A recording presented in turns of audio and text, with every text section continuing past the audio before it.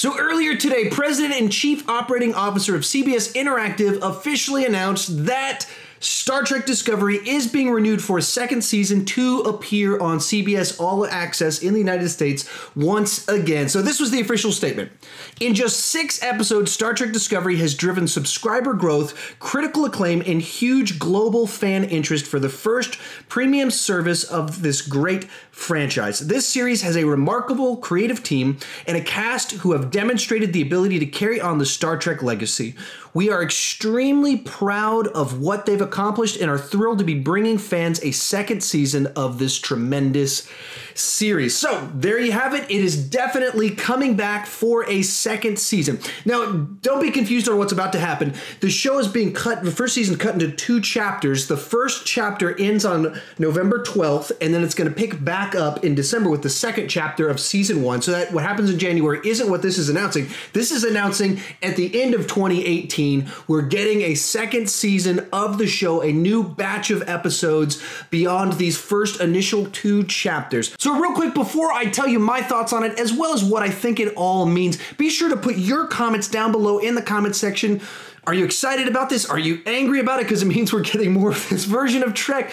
What do you think about it, as well as what do you think it means? Do you think it has significance that it got it renewed, or did you think it was just kind of like pretty obvious that this show is going to get renewed because CBS is putting a lot of eggs in the Star Trek Discovery basket?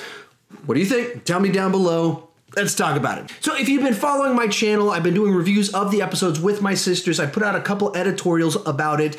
Essentially, in my editorials, talking about how I don't particularly like the show thus far. I don't like the direction that they've taken things, and how I'm frustrated that some of it isn't so family friendly for me to be able to watch with my kids. She's obviously too young anyway, no matter where the series has been, since she's only three. Do you like Star Trek?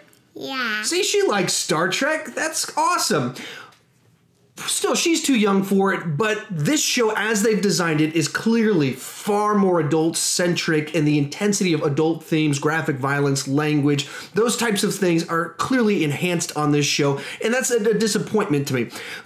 But with all that said I'm actually I'm all for more Star Trek. Uh, I, I'm for this show getting a chance to find its footing. Star Trek: The Next Generation, first season, the weakest of all of them. So this follows the tradition of many Star Trek series that it takes a little while to get going, to find its footing, to get good. I- am willing to give it a chance. I, I mean, the idea that there's Star Trek being made out there means there's hope that there will get good Star Trek that I actually like. A lot of the speculation is that this season and this show is kind of about the Federation forming into the Federation that we know. I'm willing to give it the time. So I see this just as a positive. Now, I understand a lot of people really, really don't like this show and view it as a dumpster fire, uh, an assault on canon, and I can sympathize with a lot of that. But Star Trek is Star Trek, and having some Star Trek means there's hope of good Star Trek in the show to develop into something. And hopefully, they'll learn from some of the mistakes of this season, feedback, and season two will become much closer to the show that we hope for it to be. Isn't that right? Yeah. See, she agrees with me. See, two generations thinking the same things on this. Um, so, what do I think it means that it was review- renewed for a second season? Very, very little. It means that the show wasn't a train wreck which we already knew that. We already knew the show, and, and I mean critic, not uh, what I mean both with critics and with um, just number of viewers, new subscribers. Uh, what are you doing? Uh, we know it wasn't a train wreck because you look on Rotten Tomatoes, it's got like an 85% from critics, and then if you look at their subscriber data, they've said subscriber data for CBS All Access. Clearly, they've stated it had the top single day, week, and month growth they've seen in their services history. So right from the get go obviously it wasn't a bomb. Now, I think also at the same time, you have to be fair. It also doesn't mean that the show's a big hit. It doesn't mean that they're perfectly happy with the results. It doesn't mean that, you know, obviously this guy's job is to make the show sound amazing and awesome, so they're going to talk about it that way. I don't think it being renewed actually means any of that because they put so many eggs in the Star Trek Discovery is going to build up CBS All Access basket that you kind of have to go a, a, second season. You kind of have to keep going. You can't just do one season with how much they've banked CBS All Access on this one show.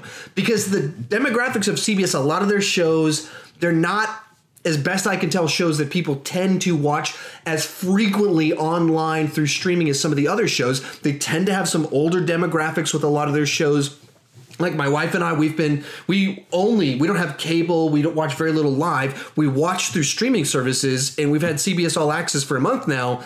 We haven't watched anything but Star Trek Discovery. Just the types of shows they work don't tend to appeal to the type of people who do streaming services. So they're banking on Star Trek Discovery to be the show that makes them move into uh, the streaming services. And so naturally, Star Trek's going to be one that you're going to get people like me to sign up, even if I'm kind of angry about the show, even if I'm not happy with the full direction that they're going with it. And likewise, that uh, wouldn't typically subscribe to CBS All Access. I had it a couple years ago for a month just for the purpose of watching the last season of Person of Interest, and then we unsubscribed from it just because the types of shows they do tend to be for a very different demographic. So I think they're banking on it to try and drive subscribers to it. And so that that's kind of the way it's working in the US. I know it's actually outside the US, it's on Netflix and other things like that. That sounds amazing. I wish that's what it was like here. Here it's on an exclusive extra service that I have to pay for. And so that's where we're at. What do you think about uh, Star Trek Discovery being renewed for a second season? Uh, good. You think it's good? That's good. High five. So that's my take on it. But what do you think about it? Tell me down below in the comment section. Do, are you excited about it? Are you angry about it because your varying thoughts on Star Trek Discovery? And also, do you think it means anything? Do you think it has a significant meaning that this show has been renewed? Because for me, it just seemed like it, it would have to totally bomb for it to not do that. I'm not surprised that it set records because I don't. Why would other people? Why would you sign up for CBS All Access if they didn't have Star Trek on it? Um, that's kind of my take on it. So that one didn't surprise me. It getting renewed doesn't subscribe uh, su- surprise me. Um, so that's my take on it. How about you? Tell me down below what. and with all that said, if you're new to my channel, consider clicking that subscribe button. I do movie reviews, TV reviews, ranking videos, and sometimes I talk about TV news like you're watching right now, but I don't want to just talk about Star Trek and Star Trek news. I want to talk about Star Trek and Star Trek news with you as well as you, Chloe. Um, so join me in the comment section. Let's have a lively discussion, and thank you so much for watching.